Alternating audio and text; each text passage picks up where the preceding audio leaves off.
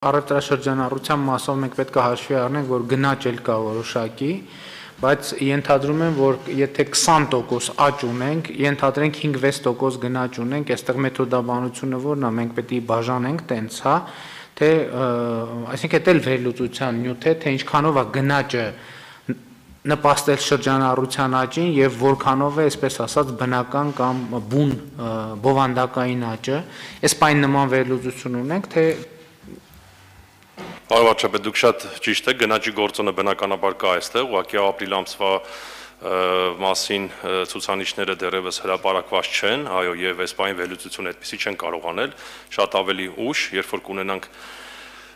ապրիլ ամսվա վերաբերյալ օպերատիվ տեղեկատվությունը, համապատասխան վերլուծություն, այո, հնարավոր է իրականացնել։ Բայց ամեն դեպքում 22% աճի մեջ չի կարող ամբողջը գնաճը լինել, պետքա Հա, ճիշտ է, շատ կարևոր է, պարոն Հովանեսյան, դուք վերջին անգամ, երբ որ մենք աշխատանքային հանդիպում ունեցանք, դուք տեղեկանք ներկայացրեցիք, որ ապրիլի առաջին 15 օրվա ընթացքում ՀԴՄ կտրոնների թիվը մոտավորապես 4 միլիոն հատով ավելացել էր։ Էնպես որ երևի գնաճը պլյուս այնուամենայնիվ քանակական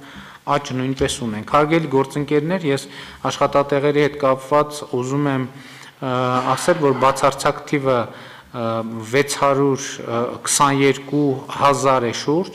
եւ ուզում եմ հիշեցնել, որ առաջին անգամ 600.000-ի շեմը գրանցված աշխատատեղերի մենք հաղթահարել ենք 2019 թվականի մայիսին եւ եւ դրանից առաջ Հայաստանում երբեք գրանցված 600.000 աշխատատեղ չի եղել եւ ուզում եմ ասել, որ 2000 Հիմա այս